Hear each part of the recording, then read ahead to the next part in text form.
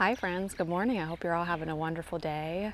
Today we're here at Longwood Gardens. We're here really early for members hours to take a look at all the amazing tulips in bloom. We have lots of different areas to see and lots of tulips to admire. So let's just dive right into this spring bulb tour. Right here we have an absolutely gorgeous variety. It looks like it's called Ivory Floradale. Isn't that beautiful? The blooms on this variety are ginormous.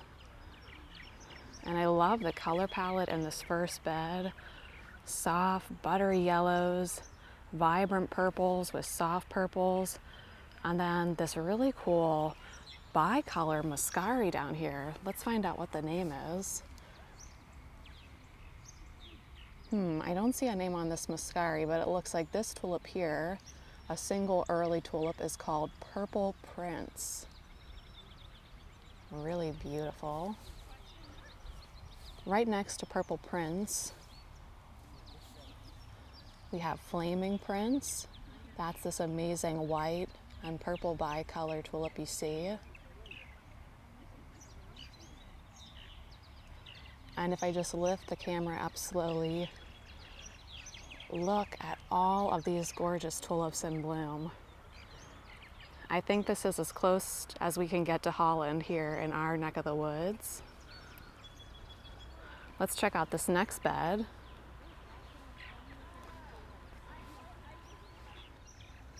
This bed is full of beautiful purples, whites, and pinks.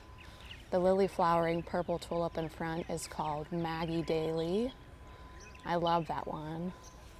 I love seeing the tulip displays at Longwood Gardens, but I also love coming because it gives me an idea of what tulips I want to purchase for my garden next year. And there's a beautiful dew on all the tulips this morning also. This is a really beautiful one, white with a really strong pink edge called Innuendo.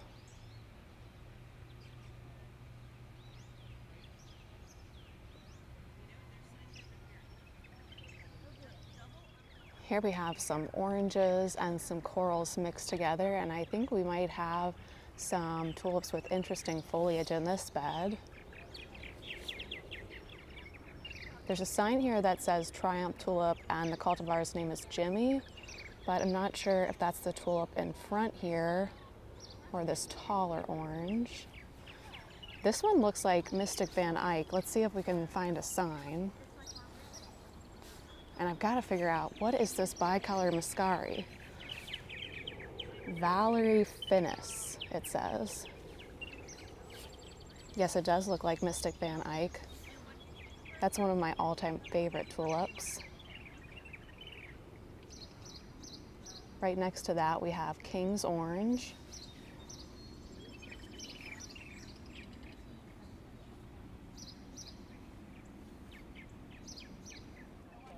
Here's a fun color palette, a buttery yellow and really bold, vibrant red with a little bit of rusty orange mixed in.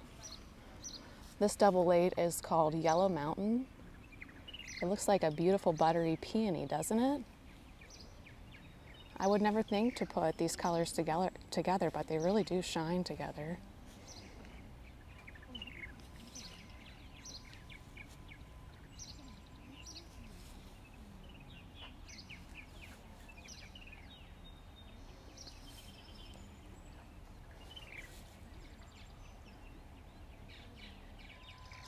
What do you think of this fringe tulip called Parade?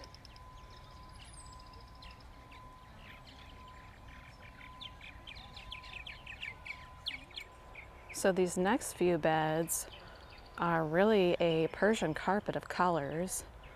Pretty much every color you could imagine in these beds. Let's get close up on a few that look really beautiful.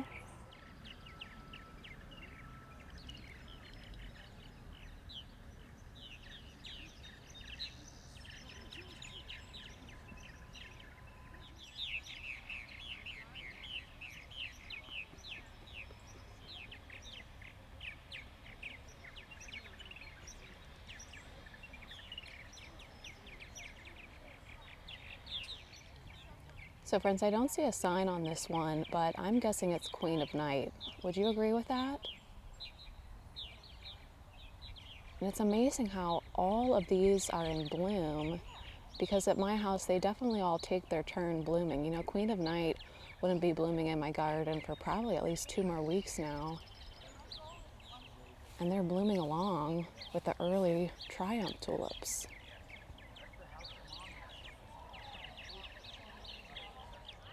Here's a Valentine's planting of reds, whites, and a combo of the red and white together, which I think is my favorite tulip in this area.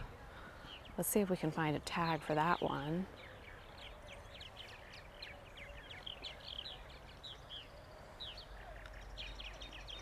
And then if you like purple, I think the next bed is the bed for you.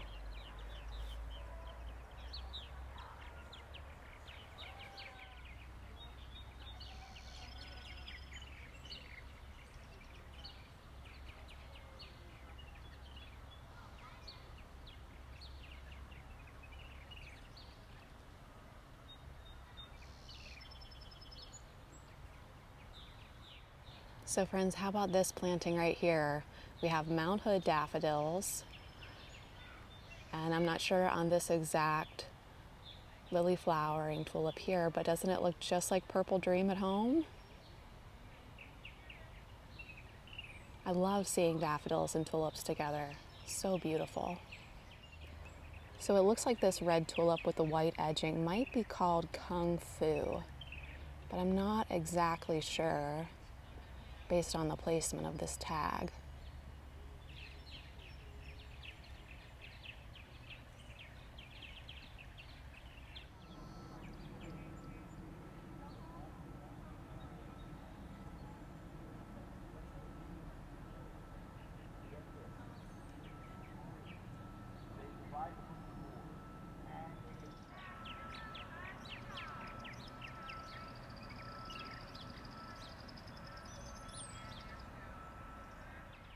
This bed is giving me Easter vibes. How about you?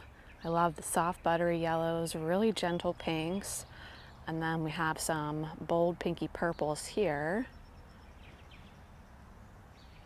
I love how they have the daffodils and the muscari just mixed in amongst the tulips. I think that looks so nice and natural. Here we have Foxy Foxtrot.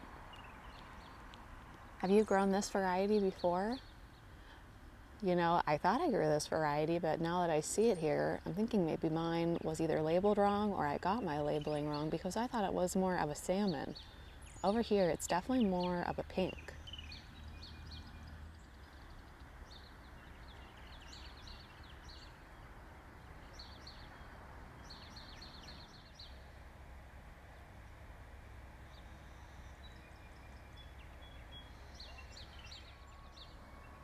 How would you like to sit here under the shade of this crabapple tree, just sip coffee and stare at tulips all day long?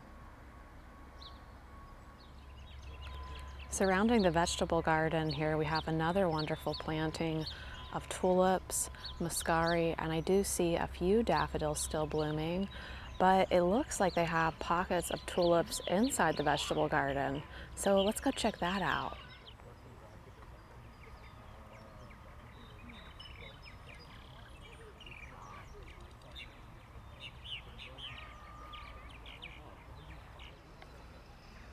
Does anyone recognize this tulip?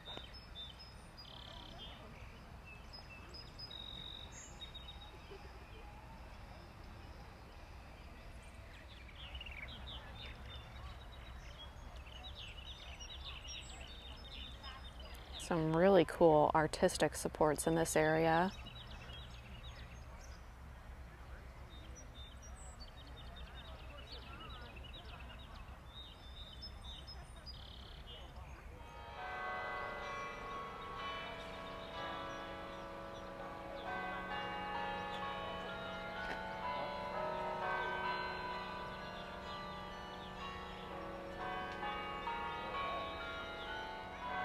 I think this is my favorite area this year, and this is the color palette that I'm going for over in the main flower walk this year with the addition of acid green. But look at this hidden gem amongst all of these tulips. Have you ever seen a tulip like that before? And there's no other tulips in this whole area that look quite like that. But this area really does remind me of Sarah Raven's garden.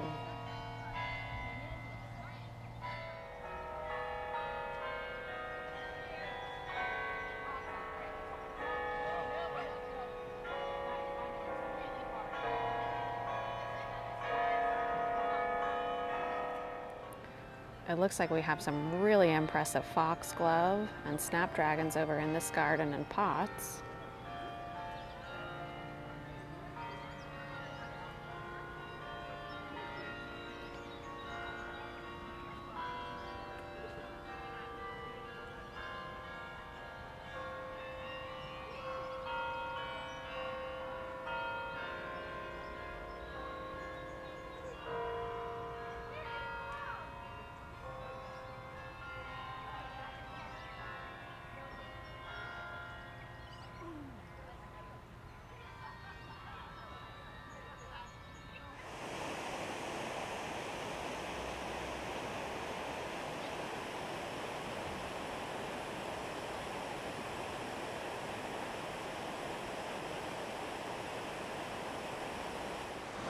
Heading over to the waterfall now and I just love this area.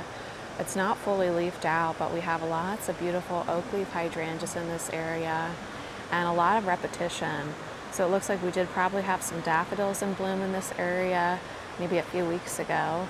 And now we have all of the beautiful bluebells. And I love the way the path curves here so you can't fully see the waterfall. Summer snowflakes I see also. I think I see some allium leaves. Beautiful ferns. It smells really good in this area.